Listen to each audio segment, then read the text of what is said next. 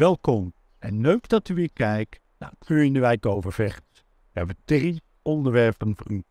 Verslaggever Els was aanwezig bij voetbalvereniging De Therese en keek met het jeugdelftal naar de wedstrijd Frankrijk en Marokko.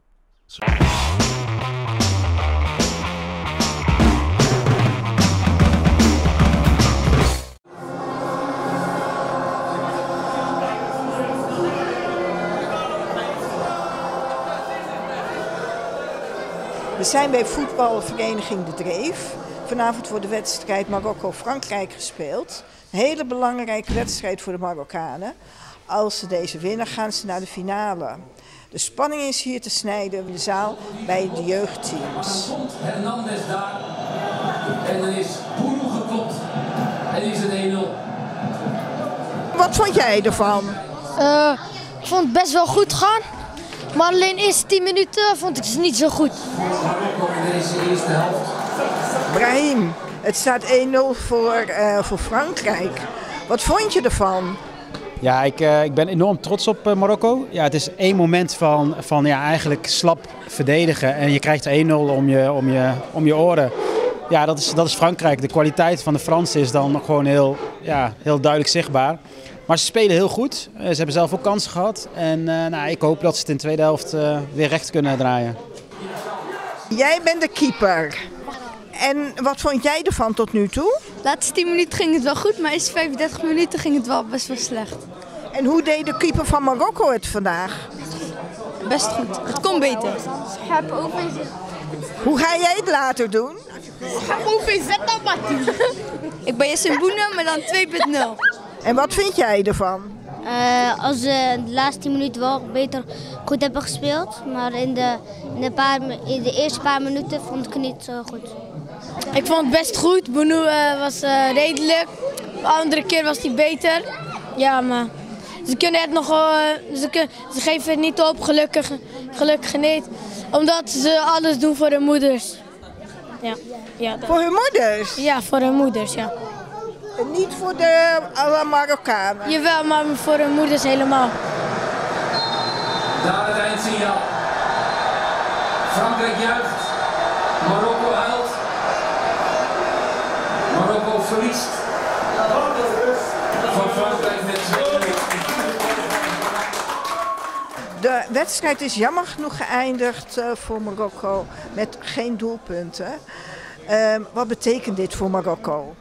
Ehm, ze hebben gestreden, eh, zeker ze hebben geen doelpunt gemaakt. Ze hebben kansen gecreëerd, ze hebben alles gegeven wat ze in zich hadden. En ehm, ja, ik vind het een eh, topprestatie, hoe dan ook. Of je nou naar de finale gaat of niet. Eh, ze zijn gekomen tot de halve finale, ze hebben geschiedenis geschreven. En ze hebben laten zien dat met spirit, met teamwork, dat, dat je heel ver kunt komen met je team en met je hele groep. En eh, als ik kijk eh, voor de Marokkaanse gemeenschap heeft dat ook gewoon ook een boost gegeven. Om eh, door te gaan, discipline erin te krijgen en gewoon ja, stappen te maken in het leven. Ehm, Wat heeft dit voor de trots van Marokko gedaan? de trots. Ja, ik denk dat de Marokkanen zeker trots mogen zijn. En ook de mensen om de Marokkanen heen trots, om, trots mogen zijn. Ehm, ik denk dat de normen en waarden van de Marokkaanse gemeenschap nu sterker eh, op beeld is gekomen. En dat je nu pas kan zien van oké, hoe, hoe, hoe leven en, en wat betekent de, bijvoorbeeld de ouders voor hun? Of wat betekent nou voetbal voor hun? Ehm, heel vaak worden ze in de ja, kwade daglicht eigenlijk neergezet. En eh, dat is jammer. En nu hebben ze de ruimte gekregen omdat de westerse landen eh, zijn vertrokken. Hebben ze de ruimte gekregen om te laten zien wie zij zijn. En ik denk dat ze dat top hebben gedaan. En wat betekent het voor de Nederlandse Marokkanen? Ik denk eh, precies hetzelfde, weet je. We voelen ons Marokkaans en we voelen ons Nederlands. En eh, we proberen gewoon het maximale uit het leven te halen. En wat waren voor jou de opvallendste dingen als trainer die je in de wedstrijd zag? Ik vond sowieso Marokko heel goed hebben ze verdedigd, de eerste wedstrijden. Alleen vandaag vind ik persoonlijk, heeft hij een paar spelers opgesteld die eigenlijk niet fit zijn. Waardoor die eerste helft gelijk de aanvoerder kun je gelijk wisselen. Alleen heel veel spelers vanuit trots willen zo graag voetballen, terwijl ze eigenlijk gewoon niet fit zijn. Dat vond ik wel jammer. Verslaggever Paul wandelt met veel overvechters en met de gids Farad Winter langs de gebouwen in de stad Utrecht die betaald zijn door slavernij.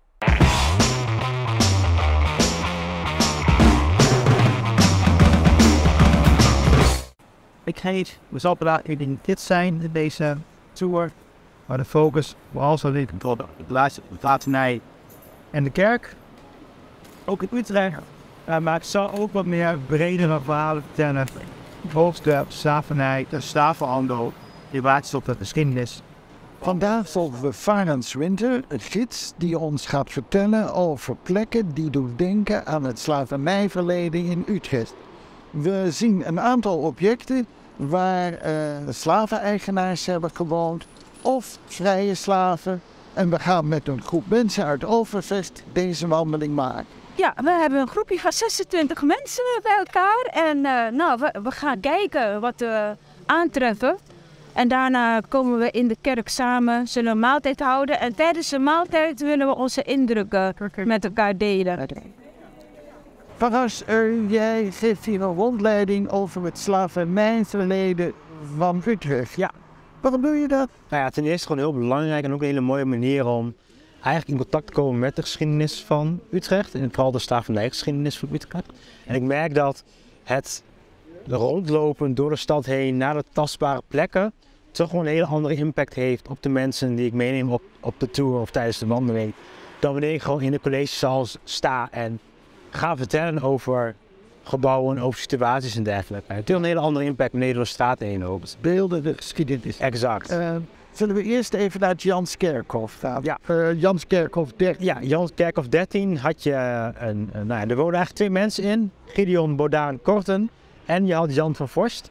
En tijdens mijn wandeling had ik het over Jan van Vorst. Jan van Vorst was directeur-generaal van Fort Elmina.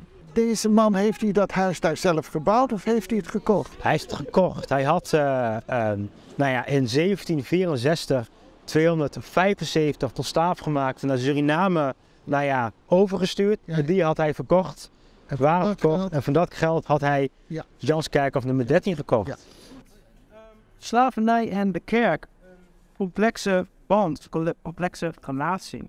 Wat heeft de Jacobikerk dan met het slavernijverleden van Utrecht te maken? Nou ja, wat ik, wat ik benoemde tijdens de wandeling is dat de kerk een, een uitstekende plek is voor, voor archief.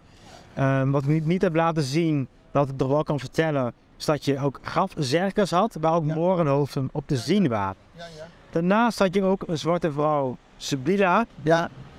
um, John Batavia, die ook in deze kerk is gedood. Nou, Wat ook weer laat zien dat, nou ja, zwarte mensen enigszins in kerken mochten komen en zich ook mochten laten doven. En als zijn van de tijd spreken dan? Nou, spreken we echt al rond nou ja, de 18e eeuw, midden 18e eeuw.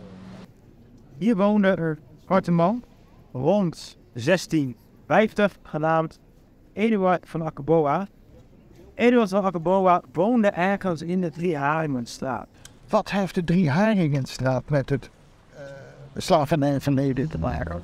Nou, in die straat woonde Eduard van Akeboa senior. Um, het is niet helemaal duidelijk hoe hij naar Nederland is gekomen of is gebracht, gedwongen. Maar het is wel duidelijk dat hij enigszins een vrije man was in Utrecht.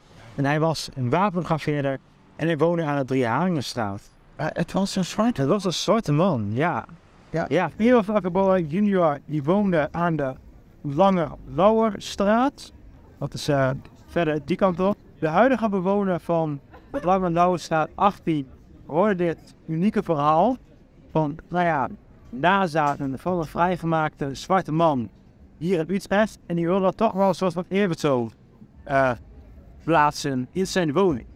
En dat zorgde uiteindelijk voor dat hij dit liet maken en dit liet plaatsen boven zijn woning. Zien we dus ook Afrika als continent met open groeien um, als een soort van herdenkteken voor Eduard van Akeboa.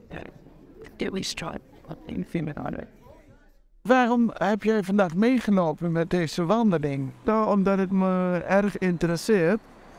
Ik gewoon, uh, en ik, nou ja, ik uh, voel me betrokken bij het slavernijverleden van Utrecht, maar sowieso bij het slavernijverleden. Maar ook zeker uh, ja, oké, Utrecht, omdat ik in Utrecht woon. En mensen hier ken. Ja, wist, uh, wist jij dat er in Utrecht nog zoveel plekken zijn die aan het slavernijverleden denken? Nee, ik heb wel een boek gelezen, maar. eh, eh, en toen begreep dat er wel wat was, maar met deze wandeling wordt het allemaal nog veel duidelijker. Slaggever Hans bezocht de wintermarkt in Buruzina.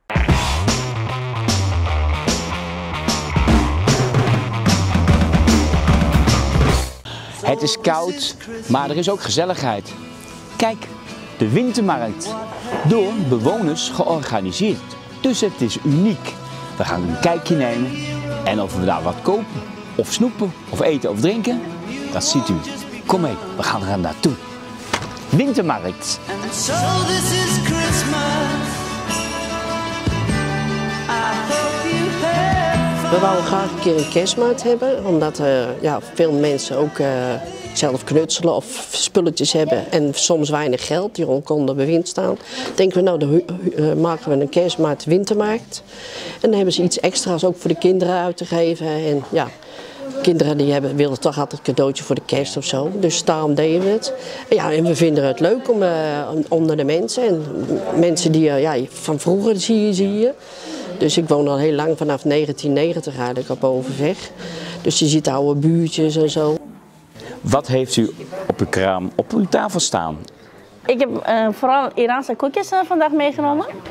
En eh, een klein beetje Armeense koekjes. En eh macarons. Ehm, eh, ik ben een hobbybakker en bak voor eh, familie en vrienden en dat soort dingen. We hebben gisteravond rond de 6 uur begonnen met bakken. Tot eh, vanochtend eh, rond de ehm 11 uur. En nu staan wij hier.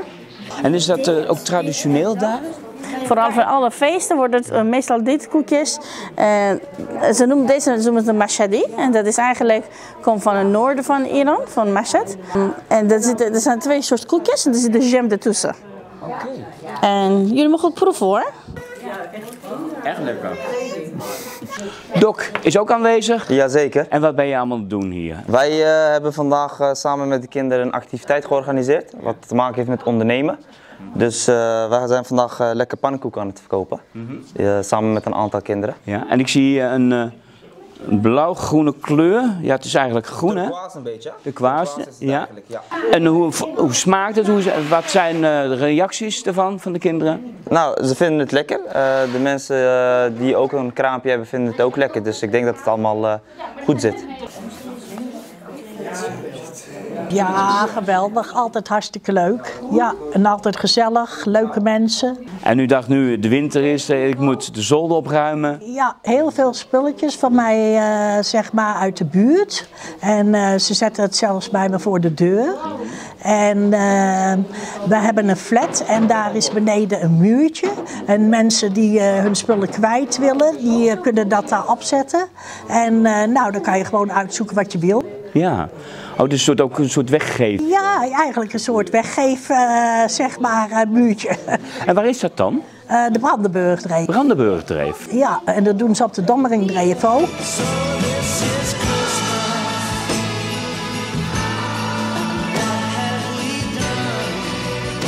En de maandagsmorgens hebben we ook een hobbyclub in de middag. Alle nationaliteiten, alles. En de soep wordt dan, die we maken zonder vlees, want je hebt dan halal en alles. Dus alles zonder vlees, maar wel verse groenten, alles erin. En dan als de tuin goed is, want hier zit een eh, groentetuin, dan willen we vanaf volgend jaar willen we onze verse groenten erin doen. Dus het is helemaal vers. Maar iedere week een ander soort soep. En dan zitten we ook te knutselen. En kost het dan ook iets? Of? Nee, het is allemaal gratis. Het is allemaal gratis. En eh, waar kunnen dan mensen dan terecht? Uh, Sjanne Derendreef nummer 1 is dat. En het is het eh, oude schoolgebouw op de Berrazinedreef. Dus dan kunnen ze gewoon lekker binnenlopen. Dit was het dan voor deze week.